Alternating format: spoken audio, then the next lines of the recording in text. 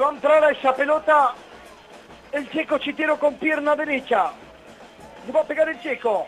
Le va a levantar sobre el área que cubre Klemniki. A ver si encuentra alguna cabeza del decano para abrirle el marcador. La bocha queda dentro del área. ¡Está el gol! ¡Sí, gol decano!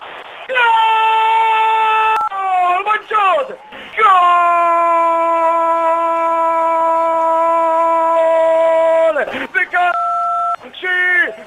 Alejandro Manchot ingresando dentro del área siempre efectivo en el área rival Manchote. Cada tanto marca un gol en un momento complicado para el decano tratando de cortar una racha adversa. Arriba el conjunto de Ortiz en 19-30. Atlético para la gana. Atlético frente a Villa Dálvine. Intenta no ponerse violeta. El decano arriba. Atlético para 1. Villa Dálvine 0.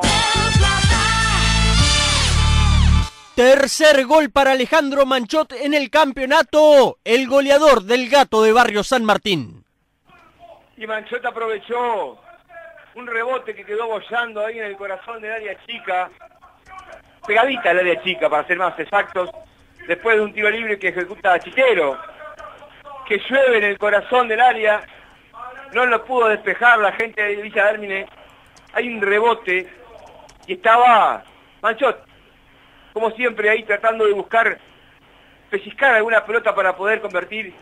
Hoy tuvo nuevamente su chance y se ha transformado este exjugador de estudiantes de San Luis en uno de los goleadores de Cano.